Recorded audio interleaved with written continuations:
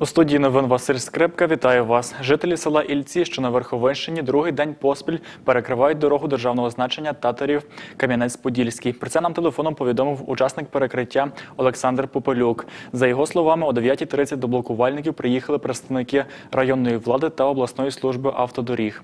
Начальник управління служби автомобільних доріг повідомив ніяк не документально словесно інформацію про тендери, які були оголошені, відмінені і які зараз відбуваються по дорозі Р-24. З його слів, орієнтовно роботи по ремонту дороги Р-24 будуть розпочаті в перших числах вересня місяця цього року. У випадку, якщо тендер відбудеться, а не станеться так само, як і з попереднім тендером. Чому залишаються люди все ж таки на дорозі? Якщо ми на сьогоднішній день не достоїмо відповідних гарантій чи від державних органів, чи від приватних фірм організацій, відповідні гарантії розпочаття роботи до осіннього періоду, розпочатку і завершення, ми отримаємо прецедент того, що ця дорога не буде відремонтована, кошти повернуться до державного бюджету в кращому випадку, а на наступний рік можливо вони навіть не будуть виділені.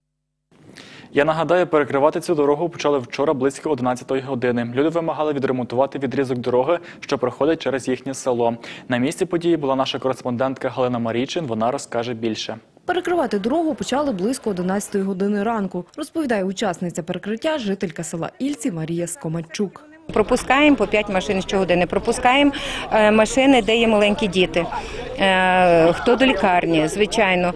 Е, З районної влади ще ніхто не відреагував. Я так розумію, і не відреагує, тому що ми збираємося не вперше. Обіцянки, які були ними надані, не виконуються. Я так розумію, що не все у можливостях районної влади. Питання йдуть далеко вище. Це вже вдруге блокують дорогу у цьому селі, каже учасник перекриття Олександр Попелюк. Попереднього разу, за його словами, до протестувальників приїжджала районна влада. Представників служби автодоріг у нас не було. У нас були представники районної влади, які в принципі е, нас інформували про даний тендер. Хоча ми цю інформацію десь мали із інших джерел. І ми щиро сподівалися, що даний тендер буде розіграний. Все ж таки це не під вибори буде робитися чи не під ще щось. Даний тендер буде розіграний, люди встигнуть приступити, хоча б з середини літа встигнуть приступити до роботи, і, і ці ремонтні роботи будуть здійснені. Це, що стосується місцевої влади, Е, представників області практично у нас не було. Відповідно, представників України не було. Акція відбувалася одноденно.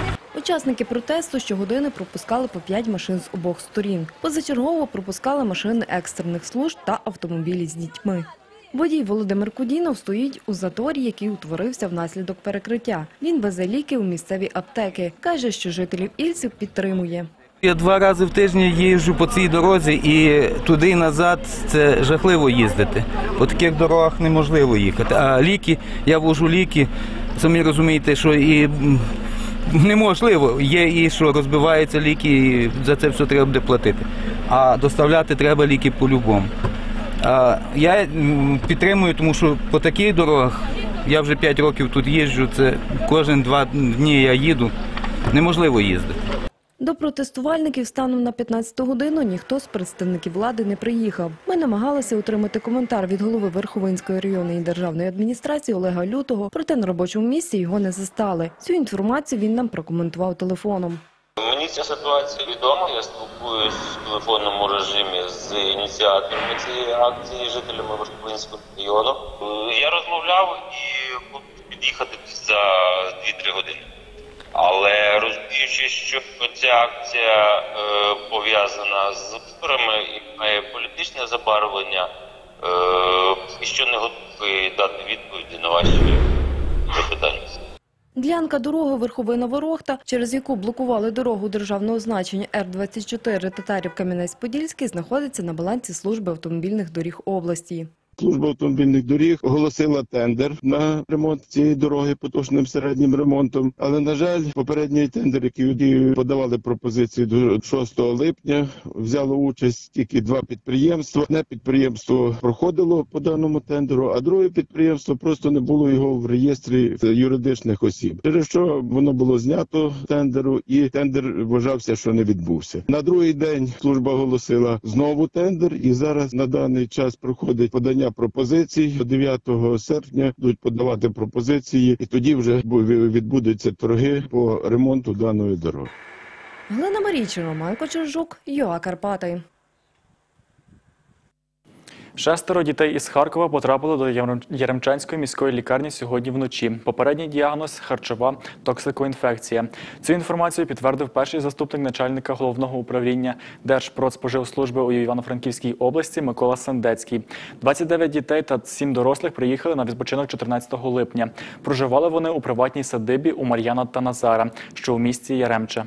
17-го ранком поснідали, пішли на екскурсію, з собою взяли сухий пайок, сухий пайок ходили бутерброди з канапки, бутерброди з сіра, ковбасою, масла, плюс варені яйця. На вечір прийшли, почалися розлади і здоров'ям. Нудота, біль шлунку. На даний момент відповідним наказом створена робоча вивчає причини захворювання, умови проживання, харчування дітей. Заклад не був зареєстрований як оператор ринку харчових продуктів. Хоча письмово йому вручалось повідомлення про те, що йому потрібно зареєструвати, пройти обстеження, перевірку на відповідність умовам харчування.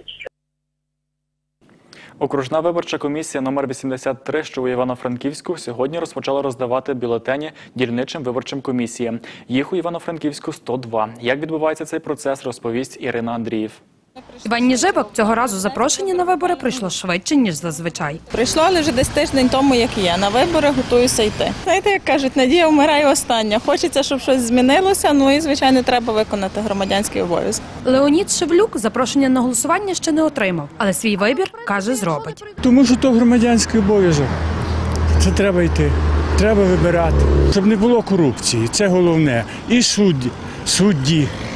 Це теж на першому плані. Вчора о 10-й годині ранку окружна виборча комісія номер 83 отримала бюлетені і створила попередній графік, за яким їх передаватимуть дільничним виборчим комісіям. Продовж двох днів останні повинні забрати бюлетені. Пройшов процес, тому що під час отримання проводиться засідання ОВК.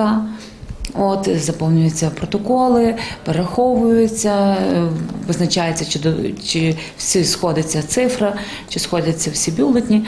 От так що у нас, дякувати Богу, все зійшлося, все було гарно. Є по багатомандатному окрузі, тобто це по партіях є 169 тисяч 368 бюлетнів, і е, по одномандатному, тобто це по мажоритарщиках, по кандидатах в депутати, є 169 тисяч 120 бюлетнів. Отримати бюлетені приїхали голова, заступник та секретар комісії номер 260 864. Далі разом із поліцейським підвозять їх на дільницю. Для того, щоб їх одержати, повинен бути міліці...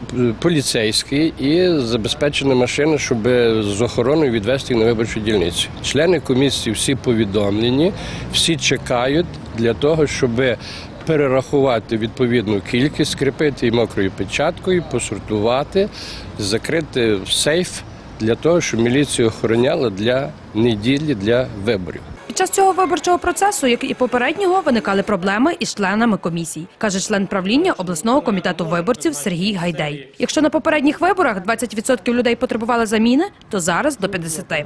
Є е, постійні заміни членів дільничних виборчих комісій. Більше це завжди на кожних виборах є, але на цих виборах це особливо помітно, тому що період відпусків багато людей, які могли би працювати в дільничних комісіях, повідмовлялися від цього.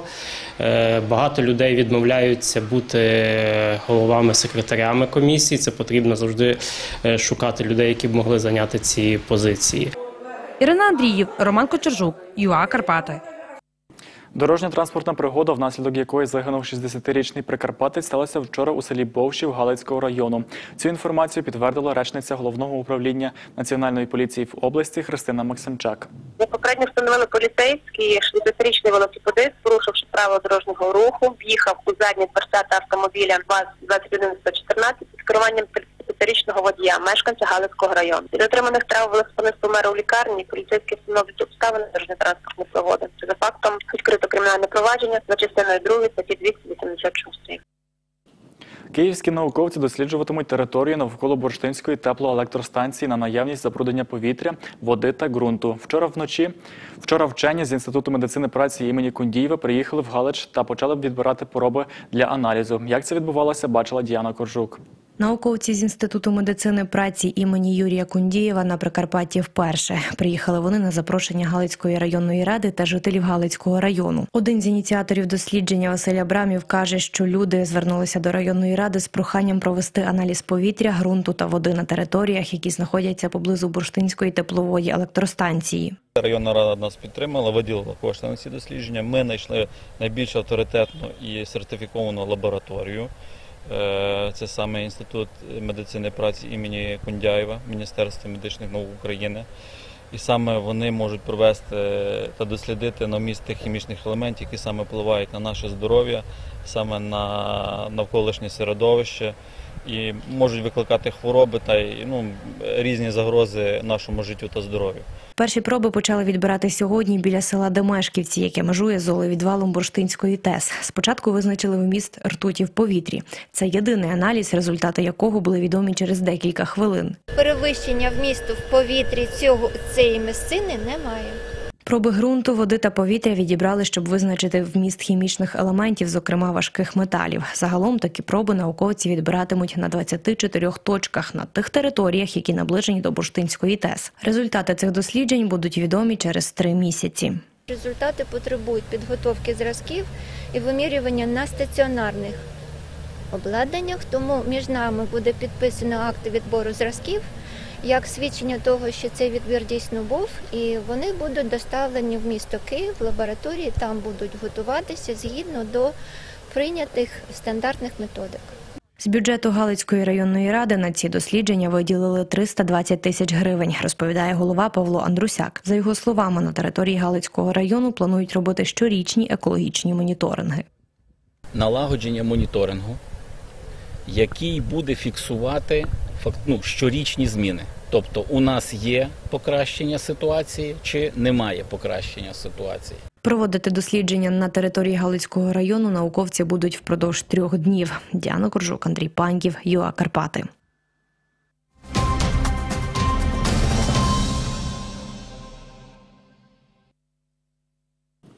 Це поки усі новини у студії працював Василь Скрипка. Наступний випуск дивіться о 17 годині. На все добре.